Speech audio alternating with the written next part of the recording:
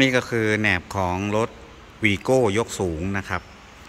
วันนี้ FC เราจากจังหวัดสุราษฎร์ธานีนะครับ สั่งมาแหนบก็จะเป็นแหนบตัวของ r e v o 4 Win นะ แต่ว่าเรามาทำการดัดแปลงก็คือตัดแล้วก็เจาะรูให้ใหม่นะครับ ซึ่งแหนบวีโก้ยกสูงเนี่ยเขาจะสั้นฝ่าของตัว r e v o นิดนึงนะครับ ประมาณสัก 2 นิ้ว 3 นิ้วได้นะฮะเราก็ทำการ ตัดแล้วก็ดัดแปลงเจาะรูให้ใหม่นะครับ แล้วก็ทำการดัดให้ด้วยนะครับนี่ฮะคือรถตัวยกสูงเนี่ยส่วนใหญ่อะแหนบข้างหน้าเนี่ยเขาค่อนข้างที่จะไม่ค่อยโค้งขึ้นสักเท่าไหร่แหนบเขาค่อนข้างที่จะนอนราบมา ดังนั้นเราจะดัดนะครับ ดัดเพื่อให้เขามีช่วงเด้งช่วงยืดหยุ่นได้นะครับแหนบชุดนี้เราก็จะทำการดัด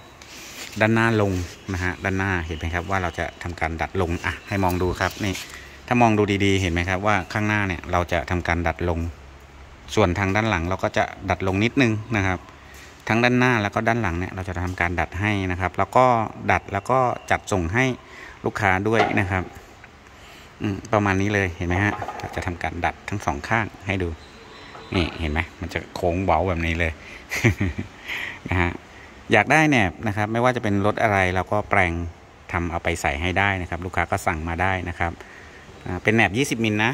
นะฮะสำหรับรถบางรุ่นไม่มีตรงรุ่นเนี่ย เราก็สามารถดัดแปลงให้ได้ ตัดแล้วก็เจาะรูให้ใหม่เห็นไหมครับนี่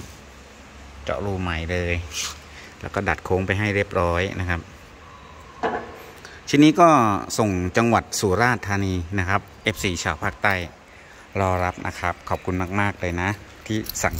แหนบจากอูปาริชาติเผาลอยของเรานะฮะเอาไปติดตั้งกันเองนะนะครับ แต่ว่าลูกค้าหลาย ๆ ท่านก็ไม่มีเครื่องดัดอย่างเงี้ยนะฮะไม่สะดวกที่จะดัดอย่างนี้ก็ทักทายมาได้ครับ เดี๋ยวเราดัดส่งออกไปให้นะ ให้ดูครับเห็นไหมฮะมันก็จะมีการดัดโค้งนิดนึง ดัดเพื่อจะให้มันมีช่วงเด้งช่วงห่างนะครับ เพราะว่ารถบางรุ่นเนี่ยเราจะเอาแหนบตรงๆ ไปเสริมเลยก็ไม่ได้ ข้างหลังก็ชิดข้างหน้าก็งัดเลยอย่างเงี้ยไม่ได้นะครับ เราก็จะทำการดัดให้ ประมาณนี้ฮะ เดี๋ยวพวกนี้ส่งให้ครับสำหรับ FC สุราษฎร์ธานี ก็ขอบคุณมาก ๆ นะครับ นี่ฮะจะส่งให้ครับ เดี๋ยวพวกนี้ถึงขนส่งแน่นอน แล้วก็เอาไปส่งให้กับลูกค้าก็น่าจะประมาณสุราษฎร์ธานีก็น่าจะประมาณ 2-3 วันนะครับ ก็น่าจะถึงนะครับ โอเค เดี๋ยวพวกนี้จัดให้ครับ